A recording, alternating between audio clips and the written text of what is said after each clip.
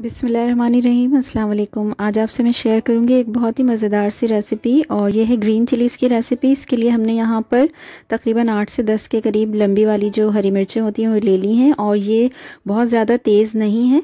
तो आप इस चीज़ का ख्याल रखिएगा, अगर तेज़ ग्रीन चिलीज़ आपको पसंद हो तो तब आप वो यूज़ कीजिएगा। तो इनको हमने हाफ़ में कट कर लिया है और बीच उसके बीच में से निकाल दिए हैं और जो उनकी डंडी होती है वो उसी के साथ छोड़ दी है। अगर कहीं से ख़राब हो तो आप उसको काट दें। इसके बाद एक टेबल स्पून के करीब हमने ऑयल ले लिया है और इसके अंदर ज़ीरा ऐड किया है, तकरीबन आधा टी स्पून है।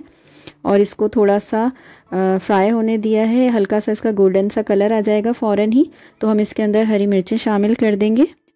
हरी मिर्चें ऐड करके हमें इसे तेज़ आँच पर पकाना है। दो से तीन मिनट तक इसे सॉटे करना है। चारों तरफ़ से हरी मिर्चों को अच्छे तरीके से हमें फ्राई कर लेना है। तेज़ आँच पर हम शुरू में इसे इस तरह से फ्राई कर लेंगे। जब ये फ्राई हो जाएँगी तो आँच को हम बिल्कुल हल्का कर देंगे क्योंकि इस टाइम हम मसाले इसमें शामिल करेंगे। तो सबसे पहले नमक हसब ज़ायका ऐड करना है हमें और इसके बाद मैं हल्दी ऐड करूँगी क्वार्टर टी स्पून और ज़ीरा ऐड करूँगी। ये भी मैं क्वार्टर टी स्पून ऐड करूँगी ज़ीरा पाउडर। साथ ही हम पिसा हुआ धनिया शामिल करेंगे आधा टीस्पून के करीब। और चूँकि ये मिर्चें बहुत ज़्यादा तेज़ नहीं हैं तो मैं इसके अंदर जो कश्मीरी रेड चिलीज़ होती हैं, वो आधा टीस्पून के करीब ऐड कर रही हूँ। अगर आप ज़्यादा पसंद करते हैं तो ज़्यादा भी ऐड कर सकते हैं। लेकिन अगर मिर्चें तेज़ हों तो फिर आप या तो ये स्किप कर दीजिएगा, या फिर कम ऐड कीजिएगा। साथ ही हम आमचूर पाउडर ऐड करेंगे, ये भी आधा टी है। और इसके अंदर हम थोड़ी सी आधा टी के करीब शुगर ऐड करेंगे, ब्राउन शुगर मैंने ऐड की है, आप नॉर्मल वाली भी ऐड कर सकते हैं। इससे थोड़ा सा मीठा टेस्ट आएगा और इससे तमाम मसाले बहुत अच्छे तरीके से बैलेंस हो जाएँगे।